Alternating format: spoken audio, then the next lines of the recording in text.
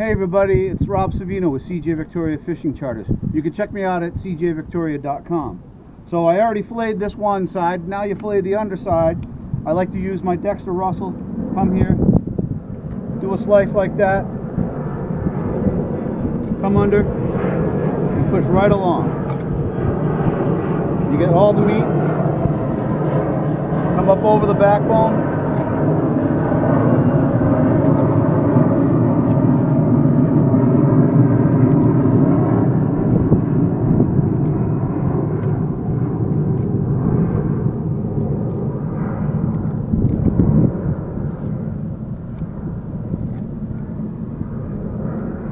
get the shoulder right there.